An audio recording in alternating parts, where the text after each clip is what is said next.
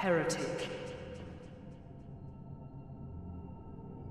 First thou offendeth the Godmother, and now thou see fit to trample upon the tomb of the great Lord. I am the Dark Sun, Gwyndolin. Let the atonement for thy felonies commenceth.